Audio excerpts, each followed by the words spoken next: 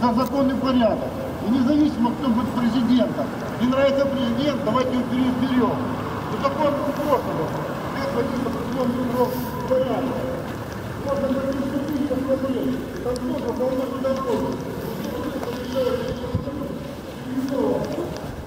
Поэтому не чтобы нашу Украину